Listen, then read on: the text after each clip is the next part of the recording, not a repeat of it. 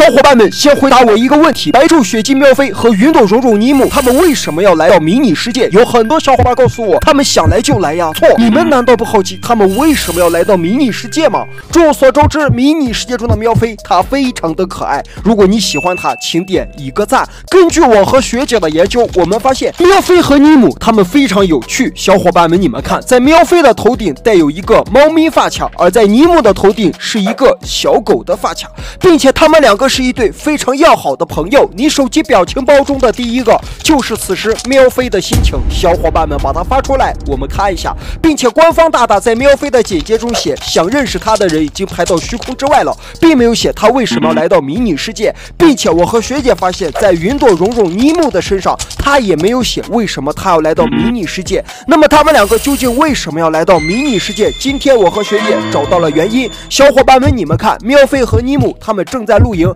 并且官方大大提示他们的家乡在梦幻岛。但是我和学姐发现，他们的梦幻岛正在建设中，所以这就说明了一个问题：喵飞和尼姆的家乡被人破坏了，现在正在建设中，他们回不去，只能来到迷你世界。小伙伴们，你们知道了吗？点个关注，下期继续。